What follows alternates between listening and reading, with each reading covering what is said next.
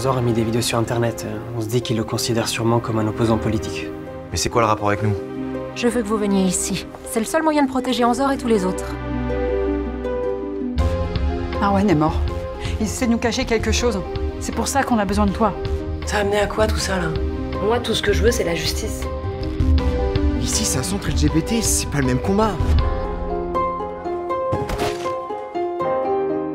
On verra bien où ça nous mènera tout ça.